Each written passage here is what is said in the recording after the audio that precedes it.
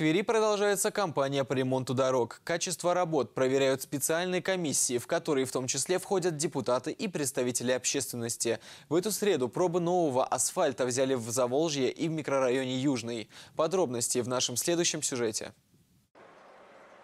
Ремонтные работы на улице Дачной уже завершены. На участке протяженностью более полутора километров от улицы Георгия Димитрова до сержанта Елизарова положен новый асфальт и обустроены тротуары.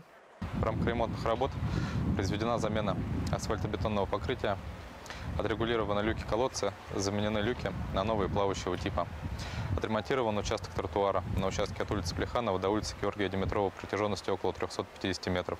Усиленный контроль качества работ в первую очередь необходим на участках, которые находятся рядом с детскими садами и школами. Здесь такой у нас социально важный объект, школа-интернат. Здесь а, при строительстве дороги, при а, реконструкции тротуара учтены также а, необходимости и дополнительные потребности людей с инвалидностью. То есть сделано понижение тротуара, где удобный въезд, люди могут и на колясках.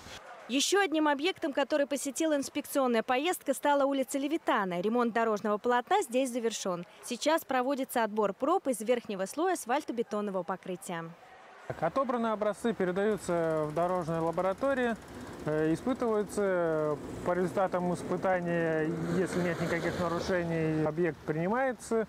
В случае выявления некачественно выполненных работ подрядчик переустраивает покрытие за свой счет. За контролем качества выполненных работ пристально следят специалисты Департамента дорожного хозяйства администрации Твери, общественники и депутаты. Сейчас мы видим э, приемку дороги. А, жители давно просили привести в порядок улицу Левитана. Не только основной кластер, где находятся многоэтажки, но и частный сектор.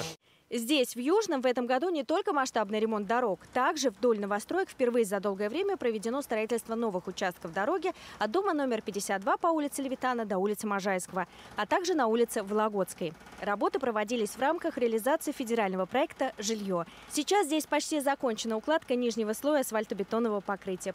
Проведен большой объем работ по перестройству подземных коммуникаций. После укладки нижнего слоя асфальтобетонного покрытия планируется выполнение работ по установке бортового камня, по формированию формированию парковочного пространства, э, формированию э, пешеходных и велосипедной дорожки.